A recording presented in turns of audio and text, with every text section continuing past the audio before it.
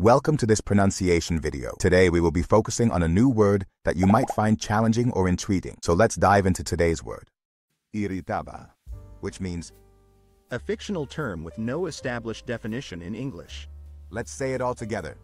Irritaba. Irritaba.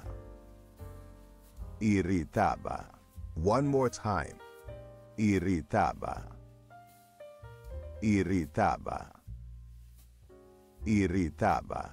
Thank you for joining us on this adventure in pronunciation. Remember, language is a journey, not a destination. Keep exploring, experimenting, and expanding your linguistic horizons. We'll see you next time.